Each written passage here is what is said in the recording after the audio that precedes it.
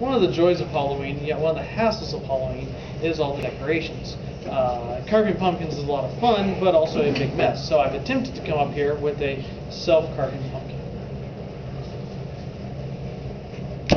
Holy! do that. Whoa. Now, what's actually going on here is I have a chemical reaction. Uh, I, of course, pre-carved the pumpkin, uh, and have a chemical reaction Oh, there. Acetylene gas uh, was created by calcium carbide and water, and then in the back I lit the pumpkin, and we have a, uh, a pumpkin that appears to carve itself. But you're editing that all out so YouTube people don't know.